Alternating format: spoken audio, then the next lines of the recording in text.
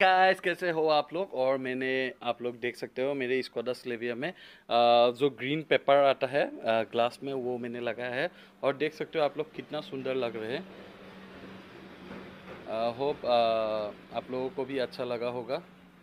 क्योंकि बहुत UV rays के वजह से बहुत प्रॉब्लम होता है गाड़ी में। तो इसीलिए मैंने ये ग्लास का ग्लास पेपर लगाया है ग्रीन कलर का। तो hope you guys like it